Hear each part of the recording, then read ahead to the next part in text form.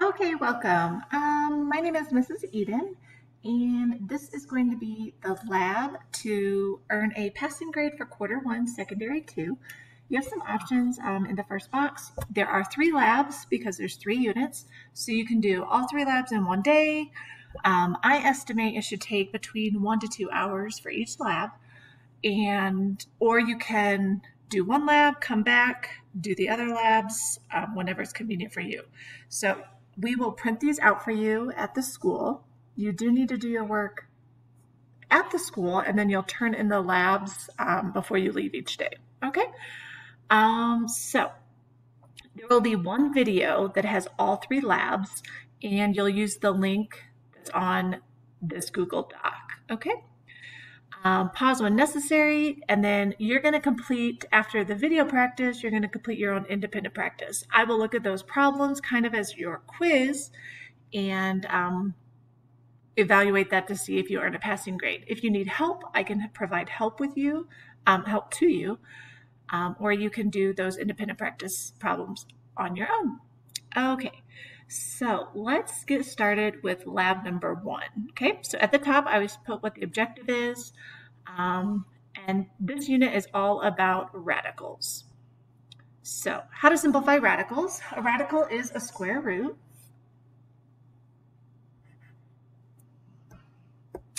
And so these are the steps. You want to completely factor the expressions. You're going to come up with terms that multiply to get the original value. For square roots, you want to look for doubles. If it's cubed roots, you look for triples. Um, I like to circle the numbers, so each double that goes outside. You're only going to write it once on the outside of the radical. Anything that's not a double or a triple, I'm going to underline, and then that gets multiplied back together and it stays inside the radical. Okay, so everything in a square root or cubed root is actually being multiplied. Okay, so let's look at example number one. So you need to come up with the factors of 200. So you can come up with anything that multiplies together to get 200. So I think of 2 times 100. So you'll want to go ahead and write these notes on the piece of paper that's provided for you. Okay? And that's part of your credit. You want to keep breaking down the numbers until you can't break them down anymore. So the 2 is done. I still rewrite it. Um, because some students lose track if we don't. 100, you want to come up with any two numbers that multiply to get 100. And there's lots of options. It doesn't matter which one you pick. So I think of 10 times 10. So then I cross out the 100 so we don't look at it. Okay? Now we're going to keep going if we can keep breaking it down. The 2 can't, but 10 does. So 10 is 2 times 5. And this 10 is 2 times 5. So notice I'm only looking at the purple numbers right now. All right. Now, if there's not a number, it's called the index number, by this little radical, there's an imaginary 2 here, which means it's a square root. So you want to look for doubles. Okay. And I'm going to circle them. So it can be anywhere. So here's double twos. And then here's double fives. Okay? The two is the only two, so it's single, so I'm going to underline it. Now, the way it works is if it's a double, you write it once on the outside of a radical. So I'm going to write a radical, and this 2 goes out there, and this 5 goes out there. Everything's being multiplied together. This 2 that was single stays inside. And then if you can multiply terms together, you do. So 2 times 5 is 10 root 2. And that is the same as root 200. It's just simplified. Okay, no decimals. You don't want to touch a calculator. If you need a calculator to help get your factors, that's fine. But uh, no decimal answers. All right, let's try example number two. You've got 48, and then we have some letters. So letters we're going to do separately. So we're going to find the factors of 48 and completely break it down. So I think of 6 times 8. And then I know 6 can break down into 2 times 3, and 8 can break down into 4 times 2. And 4 can keep going. So I'm going to keep the 2, keep the 3, and then 4 is 2 times 2. And then this 2 needs to come down also. So you want to keep track of everything so you know exactly how many you have. All right, the x's. x squared means that that's x times x. And then y to the fifth means that it's five y's. So one, two, three, four, five. Okay? All right, so now there's a two imaginary. So that means you want to look for doubles. Okay, so I'm going to just get ready for my answer and write a root. So let's see. Here's a double 2, so it comes out once. Here's a double 2, so it comes out. Here's a double x. Here's a double y. Here's a double y. Okay. This 3 is single, so it goes inside. And this y is single, so it goes inside. All right. So now you just want to multiply terms together that you can. So 2 times 2 is 4, x, and then I've got 2y, so you write that as y squared. And then this 3y just stays 3y. So this would be your answer. All right, so let's look at example number 3. This is a cubed root because there's a little 3 index. So that means you want to look for triples. So I need three of the same thing in order to write it once on the outside. All right. So we're going to break down 32. Lots of options. Um, if you're not sure what goes in, you can always pick 2 if it's even and get a calculator and divide it. So I know that's 2 times 16. And then we want to break that down. So the 2 is going to stay. And then 16 I think of as 4 times 4. And I know the 2 is going to stay, but 4 breaks down into 2 times 2. And this 4 is 2 times 2. So now I've broken everything down. Okay, x to the 7 means I literally have 7 x's. 1, 2, 3, 4, 5, 6, 7. Oops, that's an x. and then 12 y's. So 1, 2, 3, 4, 5, 6, 7, 8, 9, 10, 11, 12. Okay.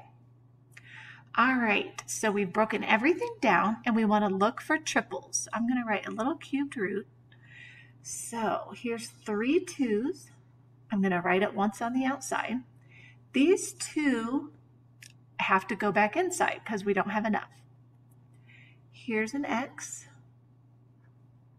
Here's three more X's and we have a single X. So that goes back inside. And then I've got one, two, three, four groups of Y's. So one, two, three, four. And they're on the outside. And I don't have any single Y's left. So if I multiply these back together, I get 2. 2 x's, we write that as x squared. And 4y's, you write that as y to the fourth. We still have the cubed root. 2 times 2 is 4, and we have an x. So this is the simplified version of the original problem. Okay, so now what I want you to do is pause the video, and you are going to complete these two problems. Okay, so go ahead and pause.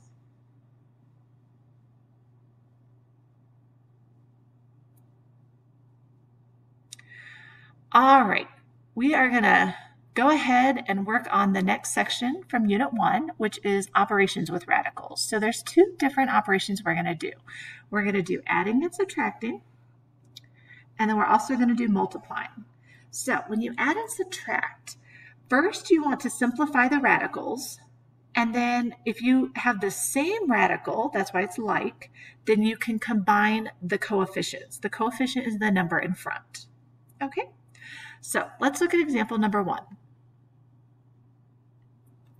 I've got 7 root 11 and 20 root 11. Well, 11 doesn't actually break down. But you'll notice that these are the same. So what that means is the 20 is the coefficient and the 7, and it means we can actually combine those.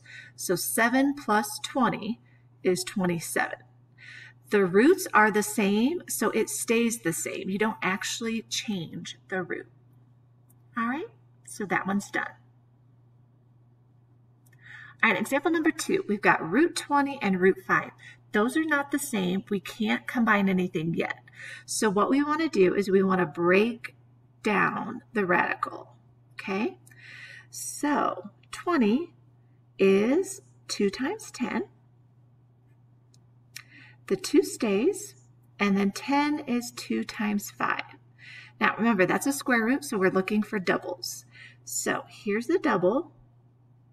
And so what that means is I already have a 2 outside, but I can write another 2 from this double.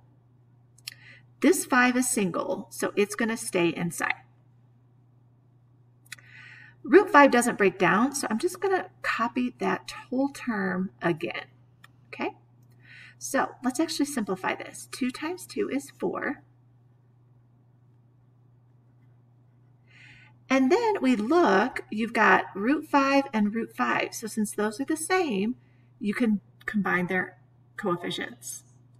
So 4 plus 8 is 12, root 5. Remember, the root stays the same. Okay, so that's adding and subtracting. All right, so when we multiply radicals, there's two different types.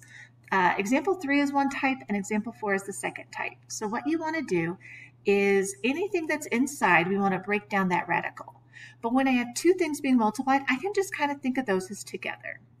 We still want to look for doubles and triples um, under the radicals, and then we multiply everything outside back together and everything inside.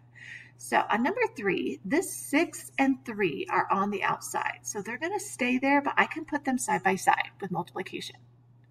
And so really we have a 40 in here and we have 240.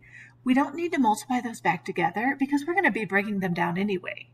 And so we break them all the way down and we look for doubles anywhere. Okay? So 40, I think of as 4 times 10.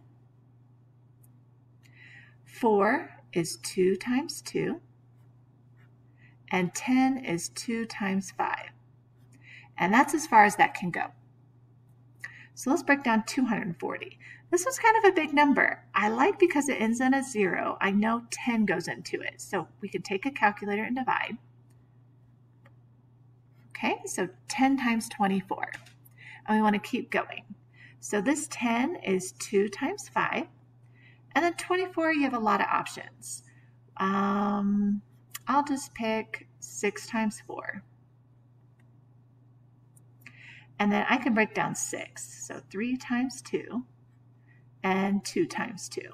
So now we have all of these pink numbers, okay? And you want to look for doubles anywhere. So here's a double. So that's going to come out with the 6 and the 3. Um, here's a double 5. Here's a double 2. See how I'm just writing it out there? Here's a double 2. And then a single 3 and a single 2. Okay, so what we want to do is we want to get a calculator and we want to multiply all these numbers back together. Okay, so we've got 6 times 3, could be in any order, times 2 times 5 times 2 times 2. It's really big. I got 720. Okay. And then inside we have that single 3 and that single 2. So 3 times 2 is 6 okay? So break it down, look for your doubles or triples, and then write what you have on the outside. All right. The last problem in this section is multiplying. So we actually call this, um, when we have two terms, we kind of call this FOIL.